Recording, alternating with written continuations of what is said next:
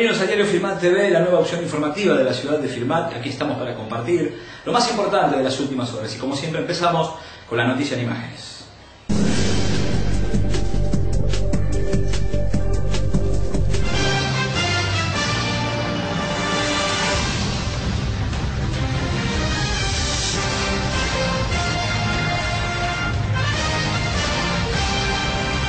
El canal Las Paredes empezará a ser entubado, una inversión de más de 10 millones de pesos. Nosotros hablamos con el intendente Torres, que habla de esta importante obra en el norte de la ciudad de Firmat.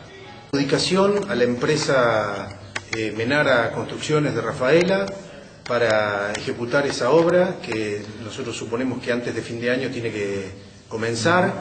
Una obra emblemática para la ciudad de Firmat. Eh, ese es un canal que tiene 100 años o más de de existencia y nunca eh, ningún gobierno eh, municipal logró eh, tapar o entubar un solo metro de ese canal. Así que para nosotros es una satisfacción poder iniciar una obra de casi 10 millones de pesos para la ciudad de Firmat, tremendamente importante por el monto también que significa. Imagínate que con ese monto podríamos hacer unas 200 cuadras de pavimento en Firmat, así que imaginar lo que significa ese monto de dinero. Y segundo, porque no solamente va a brindar una seguridad para los vecinos que viven sobre la calle Blas Parera frente al canal, sino también porque va a permitir recuperar la calle que se va desmoronando de a poco por la erosión del canal, va a permitir un mejor escurrimiento de las aguas en el barrio Carlos XII, es decir, que también va a tener un impacto positivo sobre la zona del barrio Carlos XII que, se, cubre de agua en, cuando hay lluvias muy copiosas eh, porque al, tener intubado el canal con cemento, esto hace que la velocidad del agua sea mucho más rápida para salir y por lo tanto esto beneficia eh, aguas arriba, como que es en el caso del barrio Carlos XII.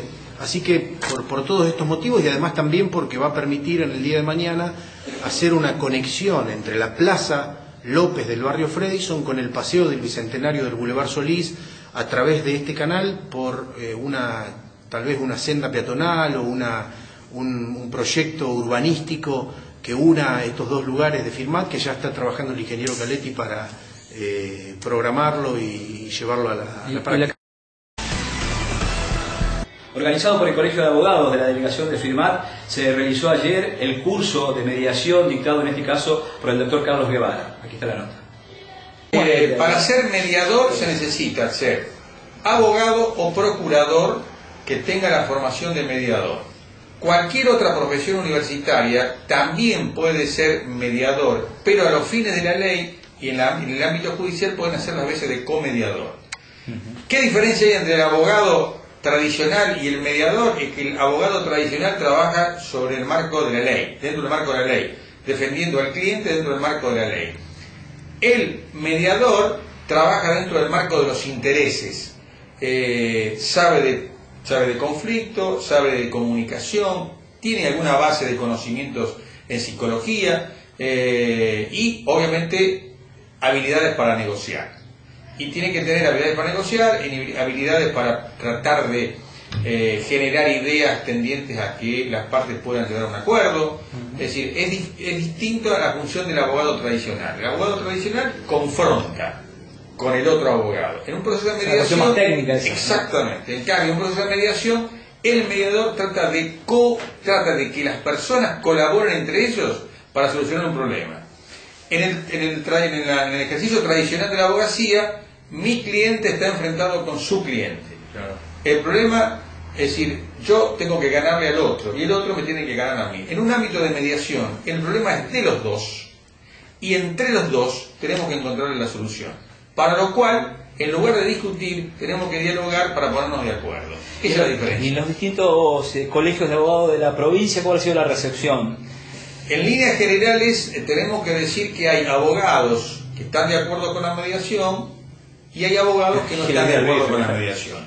Lo cual es totalmente válido. Es decir, pensemos que nosotros los abogados nos enseñaron en la facultad a litigar, a confrontar, a discutir y este, de un día para otro aparece esta nueva forma de ejercer la profesión que es tratar de saber escuchar, tratar de, saber descubrir los intereses, tratar de, negociar. Entonces es legítimo de que haya quienes no... En esta segunda parte, Carlos Guevara nos dice de qué manera se actúa en una mediación. La mediación concretamente es una negociación entre dos personas que tienen un conflicto asistido por una tercera persona neutral e imparcial llamada mediador. Es decir, ejemplo muy simple, un propietario y un inquilino tienen un conflicto vinculado con el pago de alquileres o con la desocupación del inmueble, entonces el propietario, si quiere, antes de recurrir directamente a la justicia, solicita una mediación prejudicial obligatorio, que significa que el propietario y el inquilino se sientan en una mesa de negociación para discutir los intereses que en este momento este, los están distanciando eh, en virtud de ese conflicto y asistido por, una, por un mediador intentan llegar a una... cualquiera de las dos partes eh, tiene la posibilidad de negociar los intereses en una mesa de negociación, que es la mediación, y evitar la discusión dentro del ámbito del Poder Judicial dentro de un expediente. En el expediente judicial lo que discutimos son los abogados, ¿no es cierto?, como actores principales en el procedimiento, eh, discutimos derechos, ¿eh? si tal norma se aplica, si tal norma no se aplica, mientras que en un ámbito de negociación los actores principales son las personas en el conflicto y ahí lo que negocia son los intereses. Ejemplo, a mí como propietario el derecho me dice, la ley me dice que yo tengo derecho a cobrar mil pesos de alquiler por mes y me deben diez meses, me deben diez mil pesos. Así lo marca la ley. Pero en una mesa de negociación, mi interés es, págueme 8.000, págueme 7.500, cobro y ya me desligo del problema, me desligo de usted, me libero de la propiedad, me saco un problema judicial de por medio, la notificación judicial, este, la incertidumbre de una sentencia final. Entonces, en el ámbito del tribunal, el derecho, el derecho a cobrar tal suma. En el ámbito de la mediación, dejo de lado por un ratito el derecho y digo, mi interés es cobrar tanto, no todo. Después de haber sido vetado por el intendente Carlos Torres, el proyecto de grandes superficies para supermercados volvió a tratarse en el Consejo Deliberante de la ciudad de Firmat, con nuevas modificaciones, lo explica el actual concejal Raúl Quevedo.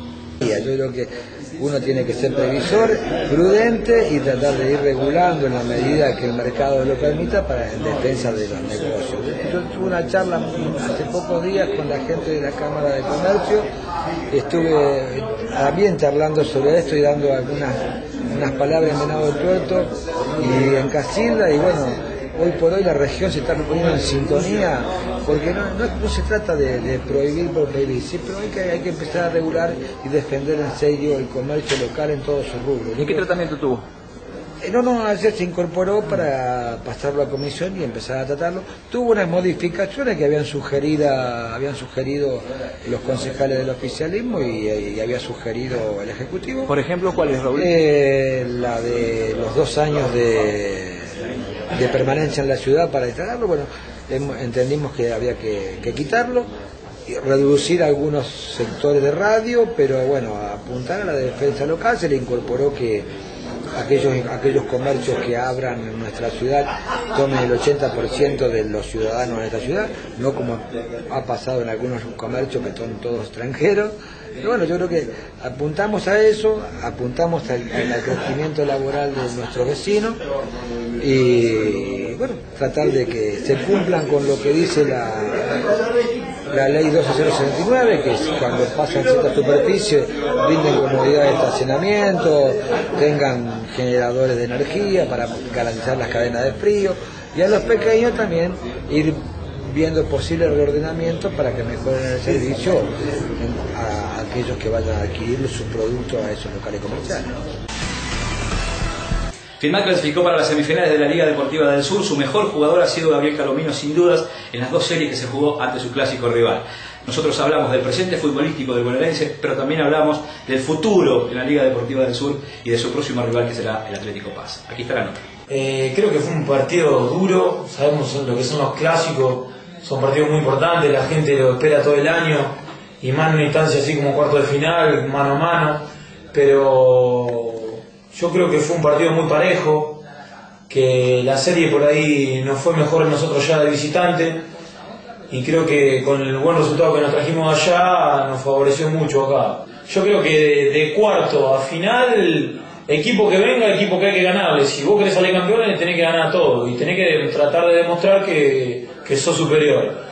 Yo creo que este partido con Paz, eh, nosotros sabemos lo que es Paz, sabemos los jugadores que tiene, las individualidades, va a ser muy duro, pero yo creo que si estamos bien de la cabeza y nos mentalizamos, eh, podemos llegar a la final. Hermano, siempre desde que arranca el torneo está. No le pesa la mochila el hecho de que la gente lo ponga como candidato siempre, ¿no? No, yo, yo creo que no, yo creo que no. Yo creo que ya el, el jugador ya sabe, los que salimos campeones en el 2007-2008 hay muchos jugadores eh, en este plantel y, y ya, ya sabemos cómo son las cosas. Ojalá pueda llegar a dar más. Yo lo que sé es que en estos momentos recién, recién ahora estoy recuperando un poco la parte física. Yo por el hecho de no poder hacer eh, bien una pretemporada, por el tema que estuvo el argentino C y estuvo medio complicado. eh, me lesioné, jugué el primer partido con Peirano me lesioné, estuve ocho fechas sin jugar. El otro día estábamos sacando cuenta, más o menos, estuve una, una ronda sin jugar. Falté 14 partidos casi. Eh, son muchos partidos, me costó mucho volver. Y, bueno, yo, yo creo que en estos momentos sí me, estoy sintiendo mucho mejor, hasta físicamente me siento mejor. Muy bien, esto ha sido todo por hoy. Será hasta nuestro próximo encuentro en este diario Firmat TV. Como siempre decimos, la nueva opción informativo y primer noticiero en la web de la ciudad de Firmat y de toda la región. Será hasta nuestro próximo encuentro.